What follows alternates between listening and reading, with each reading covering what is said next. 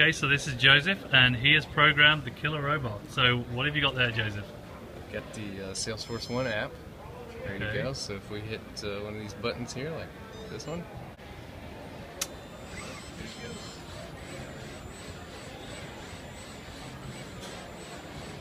Happiest.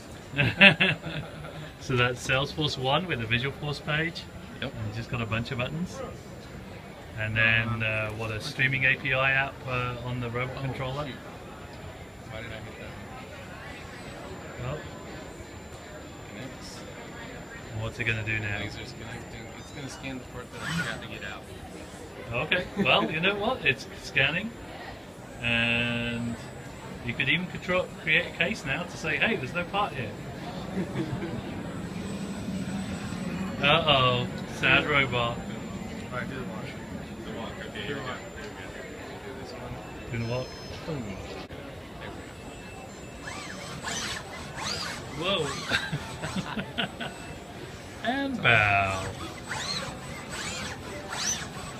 That one's great. Nice. All right. Thanks, guys.